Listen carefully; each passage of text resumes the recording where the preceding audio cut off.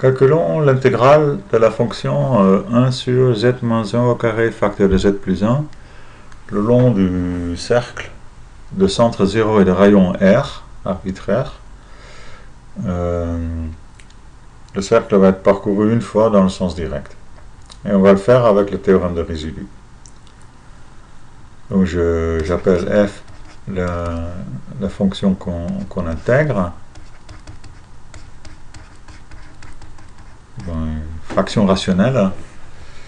Et donc comme le numérateur euh, est constante, euh, il s'annule jamais, le dénominateur s'annule en 1 et moins 1.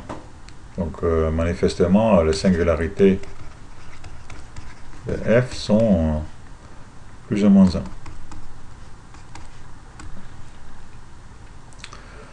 il est même très clair quel est l'ordre des pôles. Hein, c'est des pôles, comme toute fraction rationnelle. Une fraction rationnelle n'a que des pôles comme singularité. Et on voit que l'ordre du pôle en 1 est égal à 2 et l'ordre du pôle en moins 1 est égal à 1. Donc avec le on va, on va déterminer le résidu de f en, ces pôles. Hein.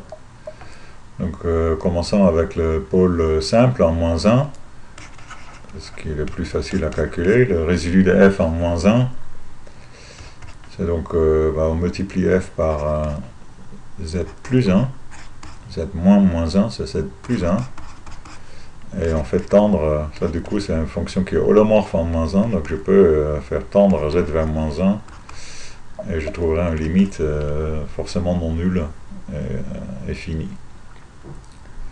Donc c'est lui limite z vers moins 1, f de z multiplié par z plus 1, ça, ça simplifie, c'est ce facteur là qui s'en va, donc il me reste 1 sur z moins 1 au carré.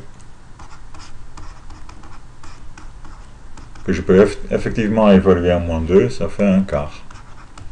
Moins 1, moins 1, ça fait moins 2, au carré c'est 4, 1 sur 4. Ça c'était facile. Hein. Lors du pôle, euh, en 1 et 2, donc du coup, euh, on, on, fait comme ça, hein. on écrit euh, g de z, hein. on chasse la singularité, donc du coup je vais multiplier f par z moins 1 au carré.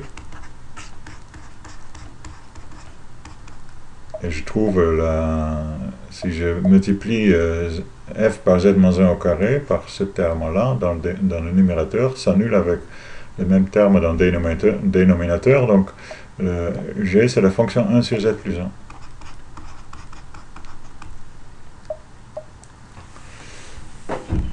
Et donc le résidu de f, de f en, en 1, c'est le coefficient euh, devant euh, z-1 dans, dans le développement en, série de G, de G en 1.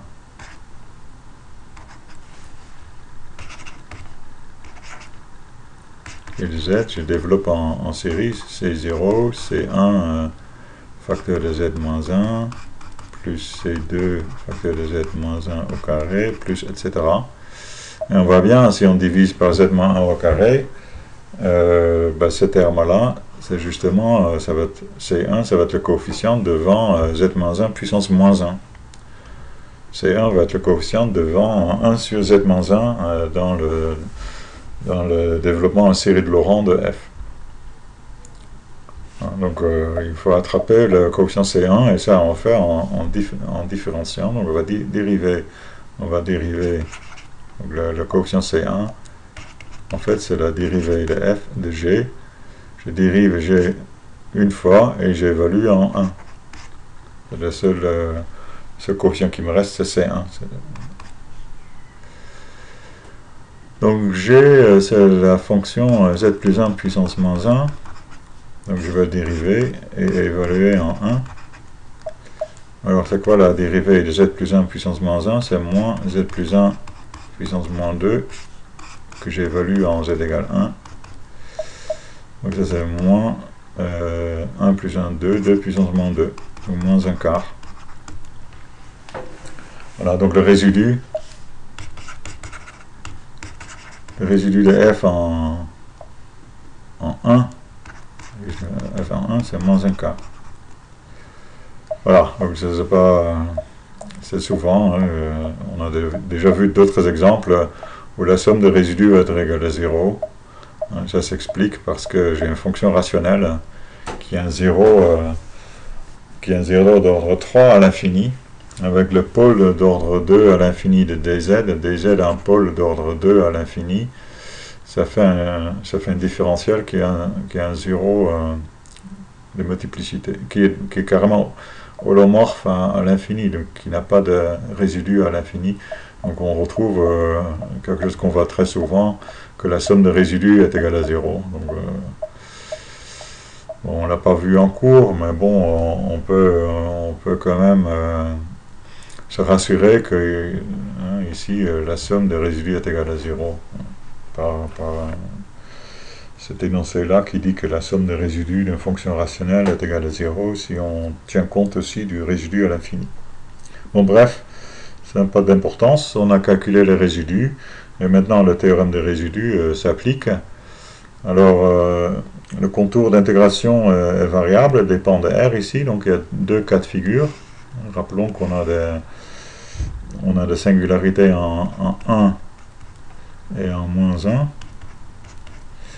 Donc euh, ben, le premier cas c'est où le, où le rayon R est suffisamment petit, c'est le premier cas, et le deuxième cas c'est où le rayon est strictement plus grand que 1.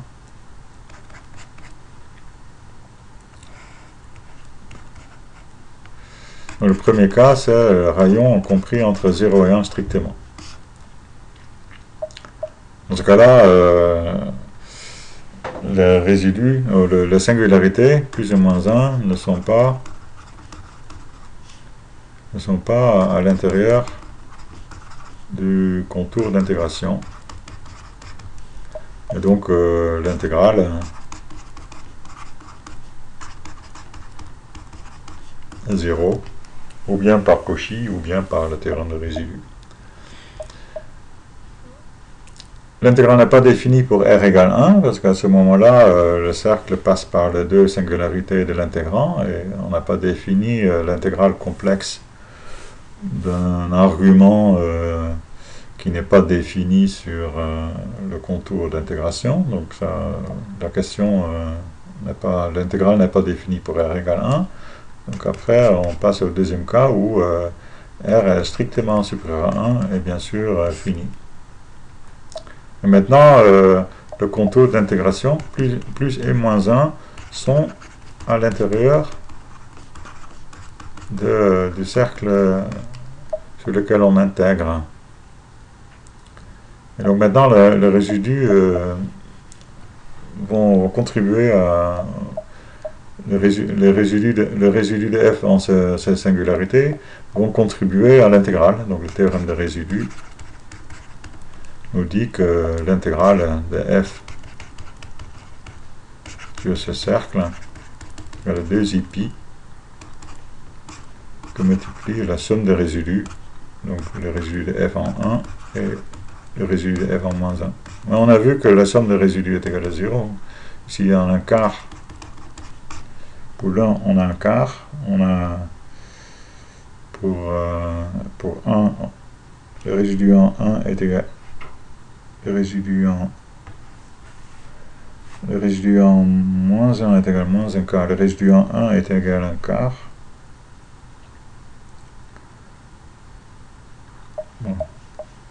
Qu'est-ce qu'on a vu? On a vu le résidu de 1 est égal à moins 1 quart. Et le résidu euh, de f en moins 1 est égal à 1 quart. Donc au total, euh, on a 2 pi que multiplie 0, on trouve 0.